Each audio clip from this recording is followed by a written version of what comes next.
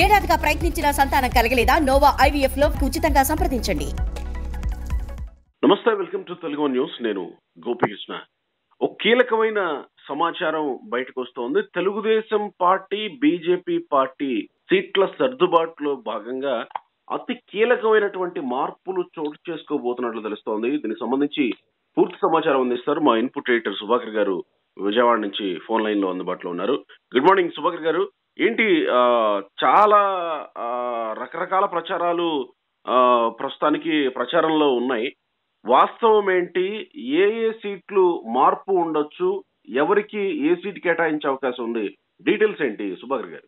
ఇవాళ మధ్యాహ్నానికి తెలుగుదేశానికి సంబంధించి ఇప్పటి వరకు ఏదైతే కన్ఫ్యూజ్గా ఉండి ఒక ఉత్కంఠభరితంగా కొన్ని సీట్ల విషయంలో పొత్తులో భాగంగా కొన్ని కొన్ని అభ్యర్థుల్ని టీడీపీ పార్టీకి సంబంధించి అభ్యర్థులు ఆశావాహుల్ని ఇవని కొన్ని ఇచ్చినవి కొన్ని మార్చే కొన్ని అట్లా రకరకాల తర్జన భర్జనల పడి ఎట్టకేలకు ఇవాళ నుంచి నామినేషన్ ప్రక్రియ ప్రారంభమైన మొదటి రోజు తెలుగుదేశం సంబంధించి ఉన్న పెండింగ్ వ్యవహారాలు పెండింగ్ నియోజకవర్గాలకు సంబంధించి ఆ లిస్టు ఖరారైంది. ఇవాళ మధ్యాహ్నం రిలీజ్ చేయబోతున్నారు అని చెప్పేసి మనకి విశ్వసనీయ సమాచారం.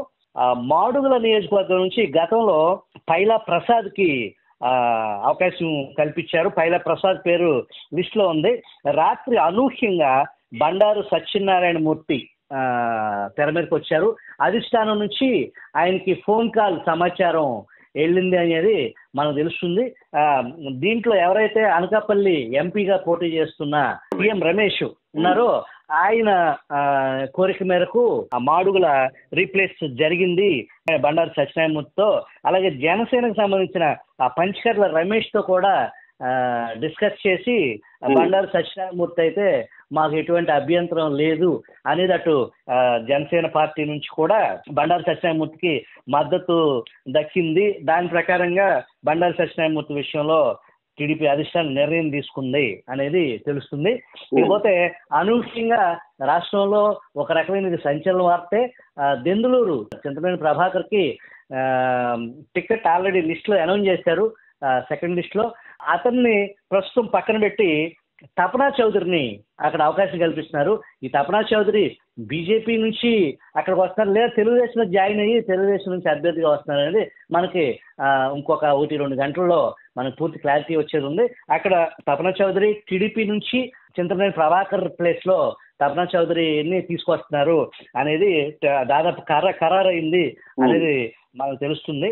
లేకపోతే అనపర్తి విషయంలో ఏదైతే పొత్తులో భాగంగా రచ్చరచ్చ అయ్యి దాదాపు జగన్మోహన్ రెడ్డి ఐదు సంవత్సరాల పాలనలో రాజ్యహింసకు గురయ్యి ఎక్కువ రోజులు జైలు బెయిల్ పాలైన రామకృష్ణారెడ్డికి అక్కడ సానుభూతి ఉంది రామకృష్ణారెడ్డికి తిరిగి ఆ పొత్తులో భాగంగా అడ్జస్ట్మెంట్లో రామకృష్ణారెడ్డికే అనుపత్తి టికెట్ ఆ, దక్కుతుంది అని తెలుస్తుంది ఇకపోతే నరసాపురం ఎంపీగా అటు బీజేపీ తరఫున కానీ ఇటు టీడీపీ తరఫున కానీ ఆశించినటువంటి రఘురామ కృష్ణరాజు కన్మూరు రఘురామ కృష్ణరాజు విషయంలో ఇప్పటికీ అదే ఉత్కంఠ కొనసాగుతూ ఉంది.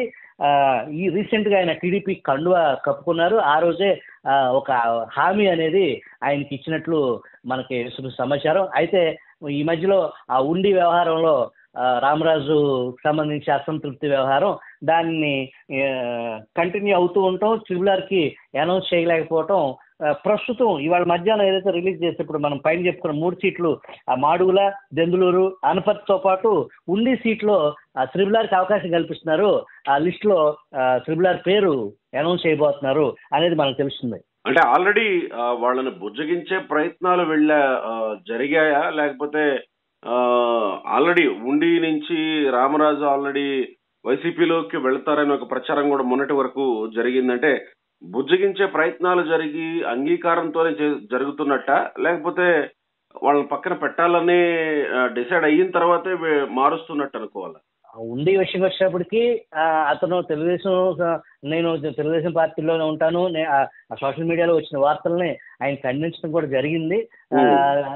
టీడీపీ అధిష్టానం ఉండే విషయంలో సుస్పష్టమైన హామీ ఆ, రామరాజుకి ఇచ్చిన తర్వాతే దీన్ని అనౌన్స్ చేస్తున్నారనేది మనకు తెలుస్తుంది.